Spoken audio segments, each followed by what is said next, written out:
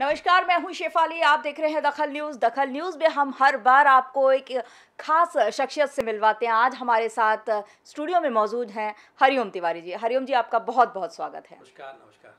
हरिओम जी के बारे में मैं आपको बता दूँ हरिओम जी एक बहुत ही परफेक्ट और जाने माने कार्टूनिस्ट हैं मिमिक्री आर्टिस्ट भी हैं कॉमेडियन भी हैं और आजकल वो वेब सीरीज़ पे छाए हुए हैं। हरिओम जी सबसे पहले मैं बात करना चाहूँगी कि आप कार्टूनिस्ट हैं और आपने अपनी जो एक कहना चाहिए कि रोज़गार जो शुरू किया, वो कार्टूनिस्ट के तौर पर किया। कैसे आपने सोचा? क्योंकि वो वक्त ऐसा था कि कार्टूनिस्ट क्या होता है, कौन कार्टून बनाता है, क्यों इस प्रोफेशन में जाना है? ऐसे कई सवाल होते थे। मेरा बैकग्राउंड तो गाँव से रहा है गाँव में आठवीं क्लास तक मैं गाँव में पढ़ा था। तो वहाँ पर गाँव में मेरे फादर किसान हैं। तो फैमिली में तो कभी कोई जानता नहीं था कि कार्टून क्या होता है। जी। मुझे भी नहीं पता था। और एक किसान का बेटा हाँ, कार्टून बना रहा है। मेरे गाँव में एक चित्रकार रहता था वो दीवारों पर पेंटिंग करता था। जी। तो उस देख के मुझे को बड़ा इंस्पिरेशन मिला। तो मैंने अपने घर की दीवारें भी खराब की डांट वाट भी खाई पिताजी की। काफ़ी दौड़ा दौड़ा के हाँ। तो वहाँ से शुरुआत हुई एक स्केचिंग की। जी। क्या कहना चाहिए? ये कमेंट करने की आदत भी थी मेरी उस तरह की चीज़ें। तो कार्टूनिंग के जो गुण हैं वो तो थे। बचपन से। पढ़ने में मेरा ध्यान ज़्यादा था। तो फिर ग्वालियर आया फिर वहाँ से अखबारों के कार्टून्स मैंने देखे। आर के लक्ष्मण के कार्टून्स देखे तो मुझे कुछ अच्छा लगा। और उस समय उस समय कॉमिक्स आती थी। जी। तो वो एक कॉमिक्स को एक नेकी राम बदीराम करके पुलिस वाले हम्म, हम्म, हम्म, कॉमिक्स थी वो खूब पढ़ा करते थे। गाँव में एक हाथ दो कॉमिक्स मिलती थी। तो वहाँ से ऐसे मेरे कार्टून अच्छे लगते थे। ग्वालियर आया फिर अखबारों के कार्टून देखे। तो वहाँ से शुरुआत हुई। मैंने बनाने की कोशिश की। पहला कैरिकेचर कपिल देव का मैंने बनाया था। तो मेरा दोस्त जो थे वो बड़ा अप्रिशिएट करते थे। तो एक मुझे लगा कुछ कार्टून एक रोज़गार का साधन बन सकता है। ये कैसे कब आया आपके दिमाग में? ये मैं जब पढ़ रहा था तो थर्ड ईयर में था मैं।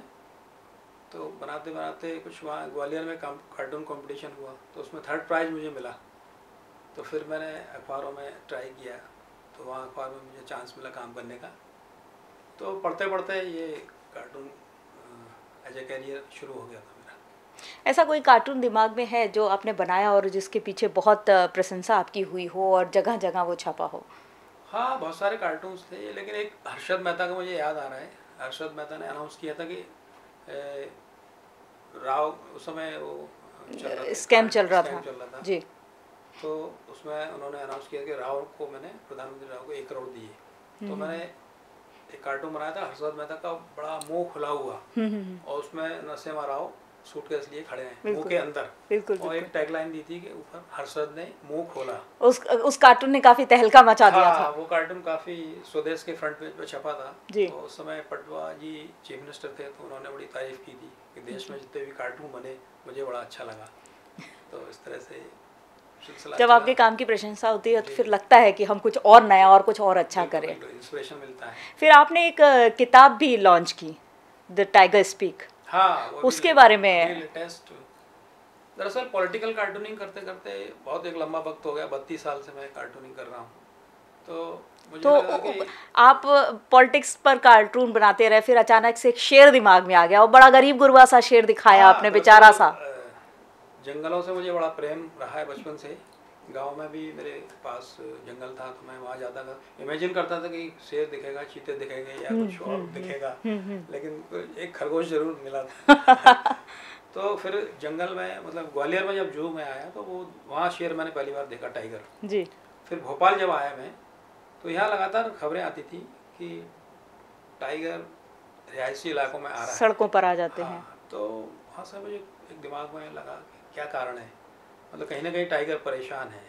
मतलब जंगल खत्म हो रहे हैं और टाइगर अगर शेर शेर जो है सड़कों पर आता है जी जी। लोगों के घरों पर आ जाता है तो तो मुझे लगा कि कहीं ना कहीं परेशान है तो एक पहला जो आइडिया आया मुझे कि टाइगर फैमिली एक घर ढूंढ रही है टूलेट का बोर्ड लगा है कि भैया हमें दो कमरे का घर दे दो। क्योंकि हमारे जंगल डिस्टर्ब किए जा रहे हैं कोई रिजॉर्ट बना रहा है कोई यूनिवर्सिटी खोल रहा है कुछ और कर रहा है।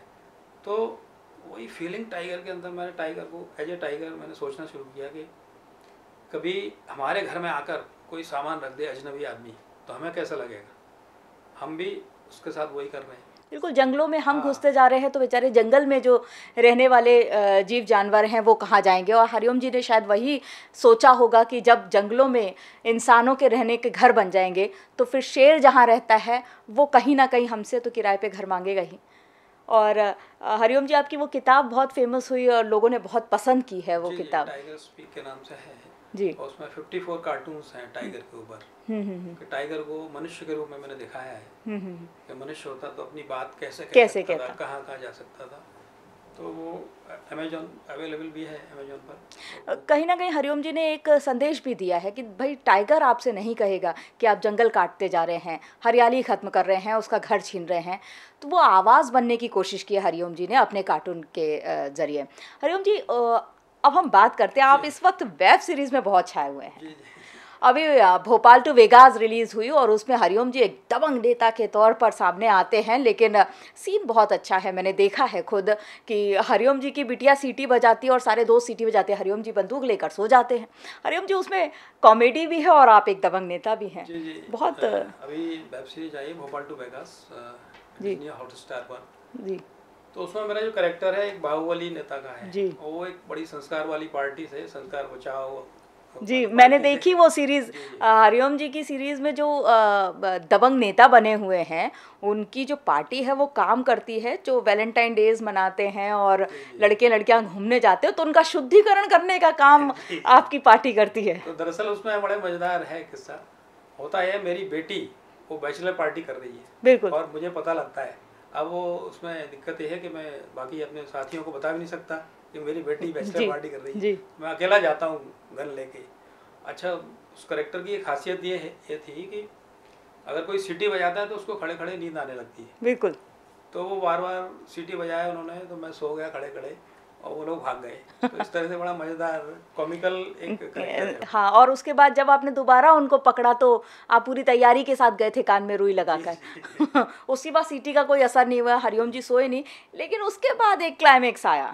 जी जी। कि उस दबंग नेता ने अपनी बिटिया की शादी भी कराई और खुद वो एक लड्डू जी थे ये पता चलता है। तो ये इंटरेस्टिंग करेक्टर था। तो बाद में फिर वो मान भी जाता हूँ शादी के लिए तैयार हो जाता हूँ। बिटिया की शादी के साथ साथ खुद के भी सपने जो है हाँ, दबंग नेता ने संजो लिए थे। हाँ उस करेक्टर में कुछ उस तरह का दिखाया था संस्कार वाले तो संस्कार शुद्धिकरण करने वाले जो है खुद इन्वॉल्व रहते हैं। चल रहा था। बिल्कुल। हरिओम जी से हम बात कर रहे हैं कि एक ये वेब सीरीज़ आपकी भोपाल टू वेगास नई आई है। आपने दुर्गामती में भी काम किया था। उसमें आपका बहुत क्लास रोल रहा जिसमें अरशद वारसी ने आपको आपका मर्डर किया था। वो बड़ा सीरियस रोल था मेरा। इरिगेशन ऑफिसर का करेक्टर था जी। तो उसमें भूमि पेडनेकर और अरशद वारसी के साथ ही मेरे सीन थे। तो उसमें मेरा मर्डर भी होता है फ़िल्म में। हरिओम जी उस वक्त हम जैसे लोग जो भोपाल में हरिओम जी को जानते हैं वो अचानक टेंशन में भी आ जाते हैं लोग हमारे करेक्टर का तो मर्डर हो गया। लेकिन वो सीन बहुत अच्छा था और लोगों ने हरिओम जी की एक्टिंग को बहुत पसंद किया। और कौन कौन सी वेब सीरीज़ हैं आपकी जो आई हैं और जिनमें आपको रोल करना पसंद आया और हम्म, दर्शकों को भी तो, पसंद आई। रंगबाज फिर से है उसमें एक पॉलिटिशियन का करेक्टर है मेरा। हम्म, हम्म, और एक पंचायत आई उसमें तो एक छोटा सा ग्रामीण का रोल था मेरा।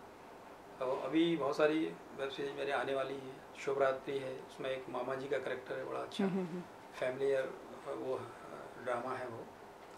और एक दो एक वेब सीरीज़ कोटा फैक्ट्री आ रही है उसमें भी मेरा करेक्टर है। एक नेटफ्लिक्स की नैना है करके उसमें भी मैं काम किया हूँ। तो फ़िल्म मेरी आने वाली है फ़िल्म।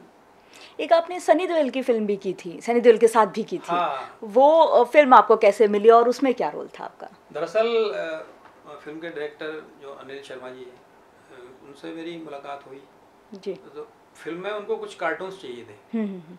तो फ़िल्म का जो सेट था उस पर उनको कार्टून लगाने थे। कार्टून यूज़ करने थे। फ़िल्म में पोस्टर लेके तो उन्होंने मेरे कार्टून यूज़ किए फ़िल्म में। ओके और मेरे को सनी देओल की एक टीम थी हम्म, हम्म। एनजीओ उसका एक मेंबर बना दिया था। तो मैं एज एन आर्टिस्ट भी प्रेजेंस मेरी थी।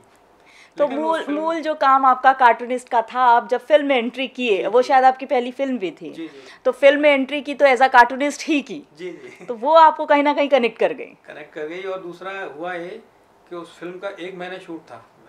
पूरा। हम्म, हम्म। तो उससे फ़ायदा ये हुआ मुझे बहुत सारे उसमें जॉनी लीवर संजय मिश्रा अमित बहल यशपाल शर्मा मनोज पवार ऐसे एक्टरों के साथ एक साथ ए, एक महीने रहने का मौका मिला मुझे। तो मुझे सीखने को बहुत मिला उस फ़िल्म से। वहीं से एक शुरुआत हुई।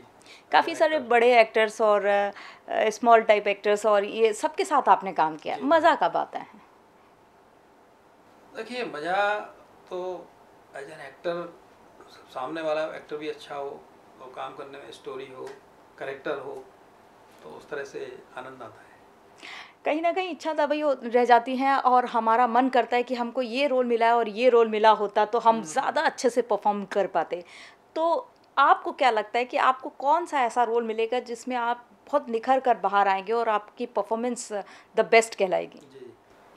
अब वैसे कॉमेडी मेरा शौक था लेकिन मुझे बाद में जब एक्टिंग सीरियस एक्टिंग मैंने शुरू की अब मुझे लगता है कि नेगेटिव करेक्टर मैं करना चाहता हूँ। कोई ज़बरदस्त नेगेटिव करेक्टर हो तो वो उसका उसको करने में मुझे बहुत मज़ा आएगा।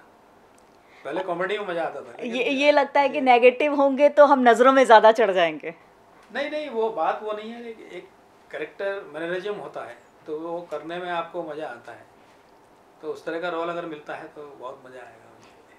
हरिओम जी की खासियत मैं आपको बता दूँ कि एक्टिंग बहुत अच्छी करते हैं नेगेटिव रोल की अभी आस है मिमिक्री बहुत अच्छी करते हैं। फ़िलहाल एक छोटा से ब्रेक का समय हो चुका है ब्रेक के बाद हम फिर जल्द आपसे मिलते हैं। ऋषि ये पंडित जी क्या बोल रहे हैं? कह रहे हैं कि मुझे तुम्हें ज़िंदगी के सभी खतरों से बचाना है। फिर तो मेरी लिए खतरे में है। क्योंकि जो कॉकरोच से डर जाए वो मेरी क्या रक्षा करेगा? वेल कॉकरोच छोड़कर तुम्हारी पूरी लाइफ एकदम सिक्योर है। स्मार्ट लोगों की क्लियर है प्रायोरिटी बाकी सब बाद में। फॉरएवर वाले रिलेशनशिप से पहले एलआईसी ब्रेक के बाद आपका स्वागत है। मैं बता रही थी आपको कि हमारे जो भोपाल की पहचान है हरिओम तिवारी जी एक्टिंग के साथ साथ मिमिक्री बहुत अच्छी करते हैं और ख़ास तौर पे अटल बिहारी वाजपेयी की आवाज़ में। तो हरिओम जी मैं चाहूँगी कि अभी अ, कोरोना की पहली लहर निकल गई दूसरी लहर निकल गई तीसरी लहर का अंदेशा है। ऐसे में अगर अटल बिहारी वाजपेयी आज हमारे बीच होते तो क्या संदेश देते जनता को? हाँ अटल जी का तो मुझे बचपन से मैं उनके भाषण सुने हैं बड़ा आनंद आता था मेरे फेवरेट लीडर्स रहे हैं वो लीडर तो अटल जी अगर इस समय होते तो एक संदेश देते, किस तरह से उनका अंदाज था अपना? नमस्कार। देश संकट के दौर से गुजर रहा है। पहली लहर आई कोरोना की। हमने असावधानियाँ शुरू कर दी। दूसरी लहर आ गई। बहुत पीड़ा हुई, परेशान हुई। सरकार अपने तरफ़ से प्रयास कर रही है। वैक्सीनेशन चल रहा है। आप लोग वैक्सीन ज़रूर लगवाएँ। तीसरी लहर का अंदेशा है। उस लहर को रोकना है। उससे लड़ना है। वैक्सीन ज़रूर लगवाना है। नमस्कार। तो ये हरिओम तिवारी जी हैं और अटल बिहारी वाजपेयी की आवाज़ में आप सभी को संदेश दिया है कि तीसरी लहर से बचना है तो वैक्सीन ज़रूर लगवाना है। मास्क लगाते रहिए हाँ हैंड सैनिटाइज करते रहिए। खैर हरिओम जी अब हम आगे बात करेंगे कि जो एक्टिंग की लाइन आपने पकड़ी कब आपको सूझा कि अब मुझे एक्टर बन जाना चाहिए?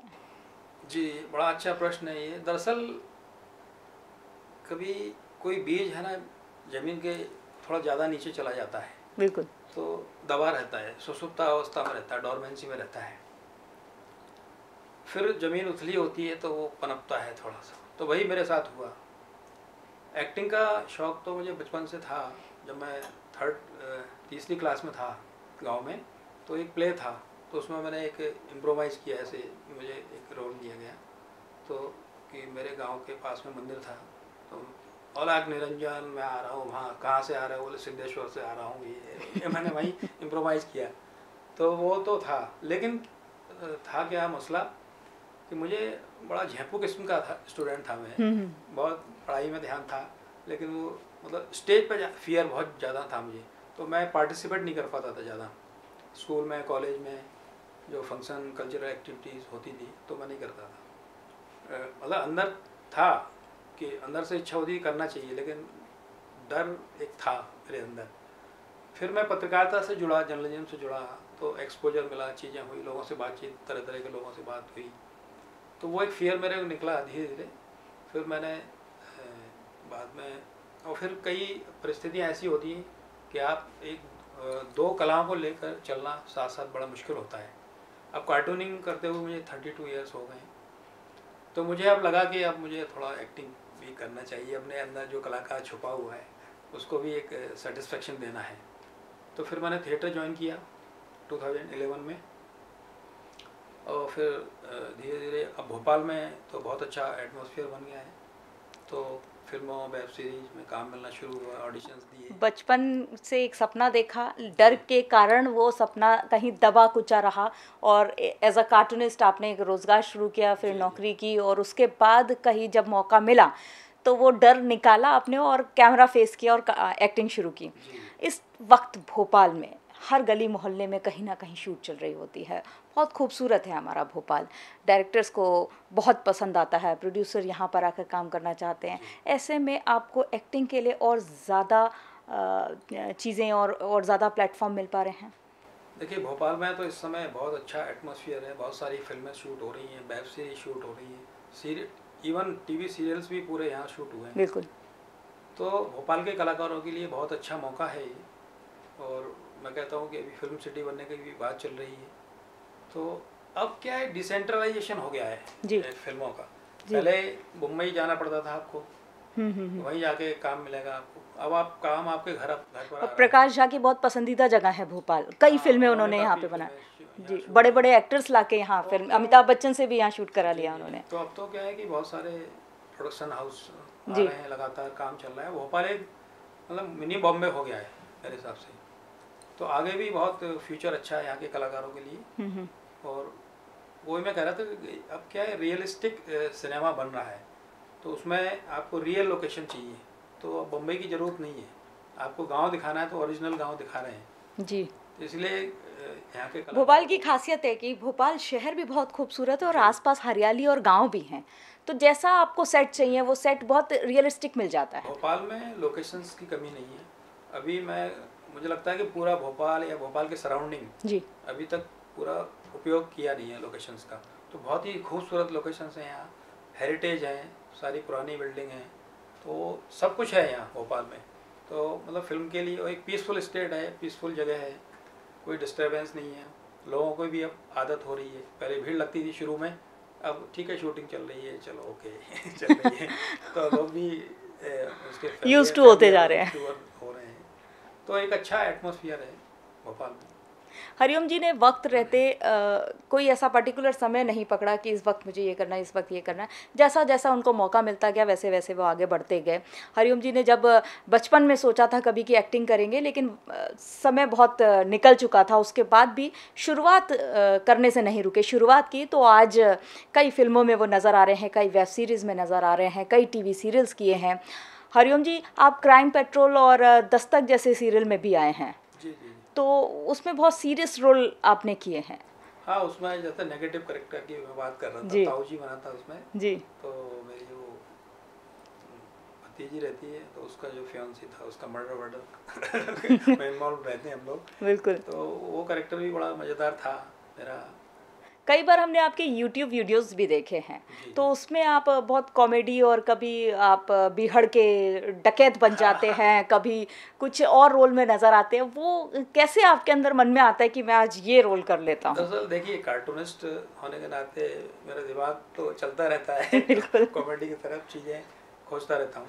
जब समय मिलता है तो मैं इस तरह के वीडियोस बनाता हूँ। यूट्यूब चैनल है मेरा हल्का होलो। तो जी हल्का होलो। हाँ जब भी समय मिलता है तो मैं इस तरह के स्क्रिप्ट मैं खुद ही लिखता हूँ तो इस तरह की वीडियो बनाता हाँ देखा मैंने कि कई बार जो करंट में सिचुएशन होती है कई बार ऐसे हाँ, करंट के मुद्दे होते हैं। न्यूज़ कॉमेडी मैंने डेवलप किया है एंकरों की भी खिंचाई करता हूँ। अब आपके नए प्रोजेक्ट कौन से हैं जो फ्यूचर में आने वाले हैं? अभी मेरी वेब सीरीज़ आ रही है शुभरात्रि और एक वेब सीरीज़ नेटफ्लिक्स की बताया नैना हम्म, हम्म। कोटा फैक्ट्री टू ये वेब सीरीज़ आ रही है। और मेरी फ़िल्म आ रही है एक शुभरात्रि। वो बड़ा मज़ेदार एक बहुत ही अच्छा एक चांस मुझे मिला। उसमें मौलाना का करेक्टर है मेरा। और राकेश बेदी के साथ मेरी जोड़ी है उसमें फ़िल्म में। राकेश बेदी जी वो वैसे ही बहुत मंझे हुए हो। बहुत अच्छे कलाकार हैं। उनका मैं मैं बताना चाहूँगा कि मैं जब मैं नाइन्थ क्लास में था तब उनका वो सीरियल आता था ये जो है ज़िंदगी। जी। मुझे बहुत पसंद था। उनके साथ मुझे काम करने का मौका मिला तो मुझे इतनी खुशी हुई ज़बरदस्त। और पैरेलल करेक्टर है वो पंडित बने हुए हैं मैं मौलाना बना हूँ। तो हमारी जोड़ी पूरी फ़िल्म में नज़र आएगी। और लंगोटिया यार जिनको कहना चाहिए वो है। उस तरह की जोड़ी है। तो पूरी फ़िल्म में बड़े मज़ेदार कॉमेडी फ़िल्म है। और वो सितंबर या अक्टूबर में शायद रिलीज़ होगी। कौन से एक्टर एक्ट्रेसेस हैं जिनके साथ आपको शूट करने में या एक्टिंग करने का इच्छा है कहीं दबी हुई सी? नहीं अभी इस तरह का तो कुछ सोचा नहीं मैंने। लेकिन अच्छा है मैंने कभी सोचा नहीं था अरशद वारसी के साथ काम करने का मौका मिलेगा। जब मैं शूट कर रहा था तो बड़ा मज़ेदार किस्सा एक सुनाता हूँ मैं। जी। जब मेरे ऊपर वो गन ताने हुए थे हाँ। तो मेरे को अंदर से वो मुन्ना भाई एम का करेक्टर उनका याद आ रहा था। और मेरे को अंदर से इतनी हँसी आ रही थी मैंने कैसे कंट्रोल किया उसको? और मेरा रोने का सीन था। हाँ हाँ हाँ। तो मैंने उसको कंट्रोल किया और वो मेरे गन ताने हुए मेरे ऊपर। नहीं ये ये मैं मैं भी अभी जब आपने बोला कि मेरे को नेगेटिव रोल करने की बड़ी इच्छा है तो मैं मन ही मन में ये सोच रही थी बेसिकली आप कॉमेडियन हैं मिमिक्री आर्टिस्ट हैं कार्टूनिस्ट हैं तो जब भी दिमाग में कोई आइडिया आता है तो एक स्माइल पहले से आ जाती है तो कैसे नेगेटिव रोल करते करते भी आपको हँसी आ जाती होगी? नहीं नहीं नहीं वो दरअसल वही मैं कह, मेरा कहना है कि मैं अपने जो बेसिक नेचर है जैसे बड़े बड़े जो एक्टर थे जो नेगेटिव रोल करते थे या फिर विलन के रोल करते थे तो रियल लाइफ में वो बड़े अच्छे आप बड़े अच्छे और बहुत हंसमुख होते हैं। तो ऐसा कुछ नहीं है। वो एक किरदार निभाने की आपकी इच्छा होती है अंदर बिल्कुल से। बिल्कुल। तो देखिए मिलेगा। हरिओम जी आपने शुरुआत की आप गाँव कल्चर से पढ़े लिखे बड़े। आपकी क्या एजुकेशन रही? कहाँ से आपने शुरुआत की? ये हमारे दर्शकों को बताइए। गाँव में आठवीं क्लास तक मैं गाँव में रहा। गाँव के स्कूल में ही जाता था बस्ता लेके। और उसके बाद फिर मैं ग्वालियर आया। फिर चूँकि मैं पढ़ाई में अच्छा था टॉपर था स्कूल ले तो मेरे को स्कॉलरशिप मिली तो ग्वालियर आना पड़ा।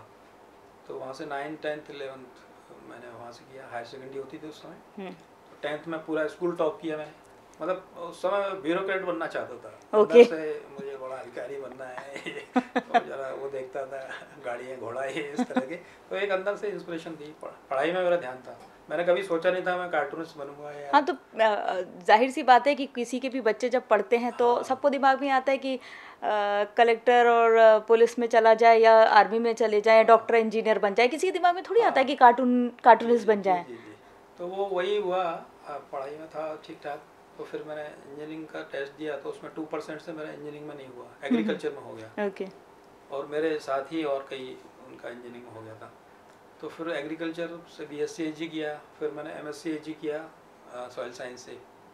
लेकिन कभी मेरा मन लगा नहीं एग्रीकल्चर की पढ़ाई में लेकिन होता गया। उसी दौरान कार्टूनिंग शुरू हो गई। तो फिर पूरा ध्यान इधर कार्टूनिंग की तरफ़ मेरा। हो हरिओम तिवारी जी को आप सुन रहे थे। बहुत सारी वेब सीरीज़, फ़िल्में और मिमिक्री, फिर कॉमेडी रोल्स और शुरुआत कार्टून से। और हरिओम तिवारी जी के कई सारे नए प्रोजेक्ट भी आ रहे हैं जो आप लगातार पर्दे पे छाए रहेंगे आपको देखने को मिलेंगे।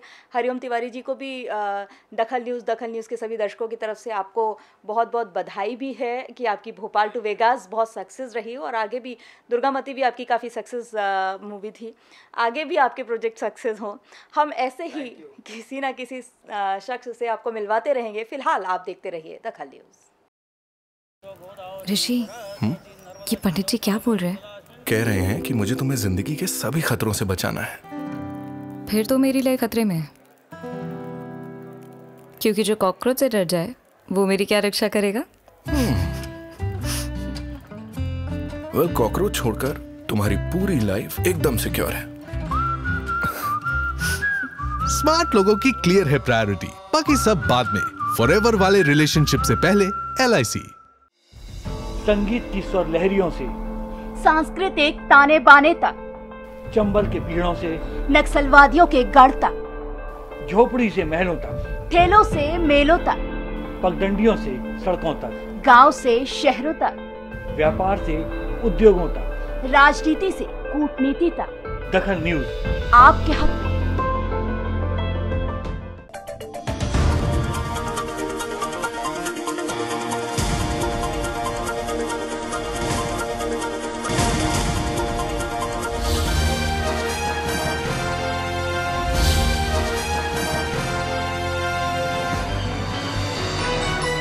देख रहे हैं दखल न्यूज़।